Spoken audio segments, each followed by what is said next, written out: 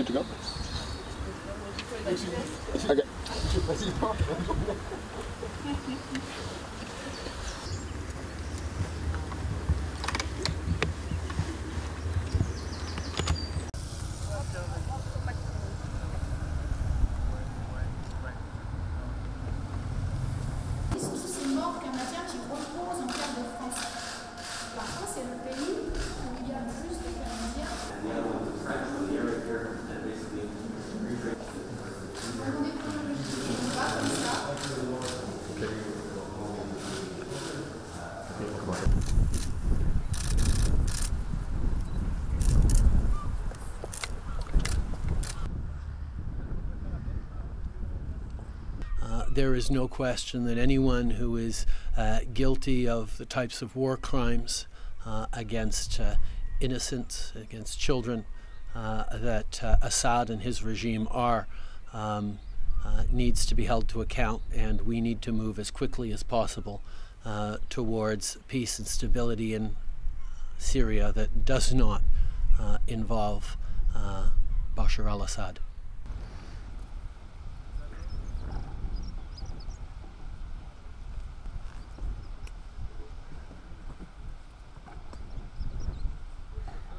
Je pense que c'est certain que euh, quelqu'un qui est euh, coupable de crimes de guerre contre les civils comme euh, l'est euh, Bachar al-Assad avec son régime qui a utilisé des armes chimiques contre ses propres citoyens euh, ne peut pas faire partie d'une solution euh, moyen-long terme pour, euh, pour la Syrie.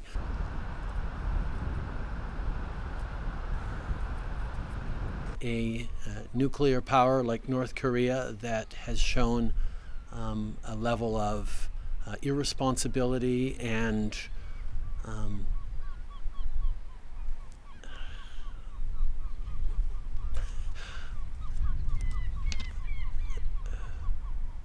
fundamental irresponsibility to, to not use a, a, a word like uh, crazy, which I will not use, um, is. Uh, uh, is of real concern.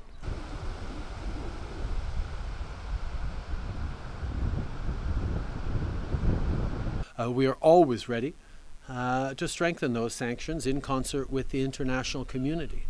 Uh, I think Russia needs to be uh, aware of its, made aware of its responsibility in uh, the bloody actions last week by the Assad regime.